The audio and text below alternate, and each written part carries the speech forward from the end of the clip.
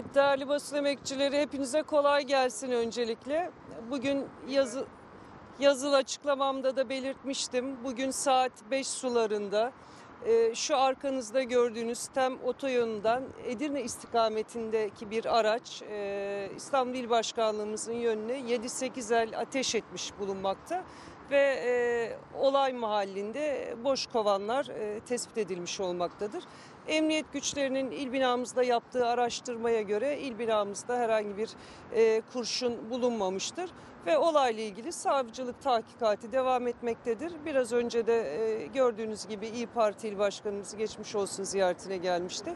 Kendisiyle de süreci değerlendirip e, yolcu ettikten sonra sizlere yazılı olarak yaptığım bilgilendirmeyi bir kez de sözlü olarak söylemiş bulundum. İl başkanlığımıza e, böyle bir saldırı olacağına dair herhangi bir duyumumuz yoktu. Ancak geçen hafta İyi Parti'ye yapılan saldırıdan sonra e, bu tip saldırıların olabileceğini e, öngörmesek de olursa şaşırmayacağımızı biliyorduk. Nitekim şaşırmadık da. Bu kesin il binası mıdır değil midir? Bunun cevabını vermesi gerekenler ben değilim. E, ben de biz de e, en az sizin kadar e, merak ediyoruz bu saldırının ne amaçla ve kimler tarafından yapıldığını. E, bir hafta önce İyi Parti il binasına yapılan saldırı. E, bu sabaha karşı il binamızın hemen karşısından açılan ateşler bir eğer e, bekçi e, değilse ya da ne amaçla geldiyse bilmiyoruz. E, umarım hepimiz için tatmin edici bir açıklama olabilir. Ama bir hafta içinde İstanbul'da iki tane siyasi parti il başkanlığı önünde herhangi bir olay olma ihtimali hani ben de e, Cumhur İttifakı'nın küçük ortağı kadar olmasa da az buçuk matematik bilirim sanıyorum dünyadaki en büyük ikramiyeyi kazanma ihtimalinden daha düşüktür diye tahmin ediyorum.